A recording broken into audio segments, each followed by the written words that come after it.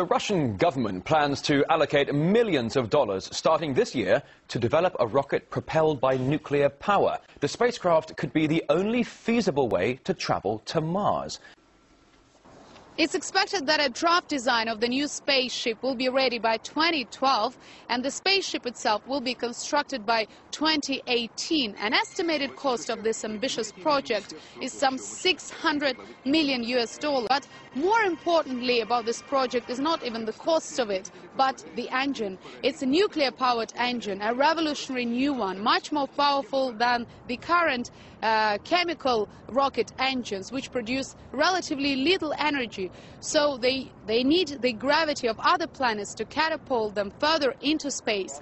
Well, the new uh, spaceships uh, could do it all on their own because of that new engine. Also, rockets uh, with these engines are much lighter. They can travel twice as fast the use of these nuclear-powered engines is an inevitable thing. It's the only way to penetrate the deepest, the darkest corners of the solar system. Russia will lead the race should the works on the new project start this year.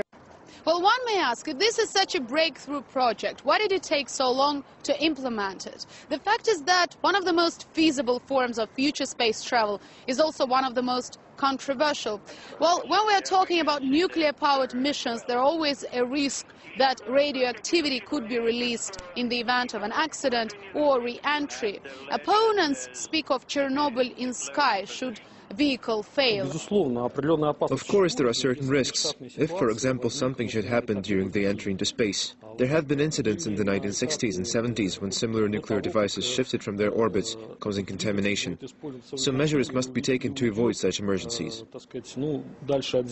And we have to understand that the project Russia is planning to invest into, it's an environmental friendly project because this new spaceship will be launched into space with conventional chemical engines and only when the spacecraft is far away from the planet of Earth will the nuclear reactors fire up. That would mean that radioactivity would not find its way back home.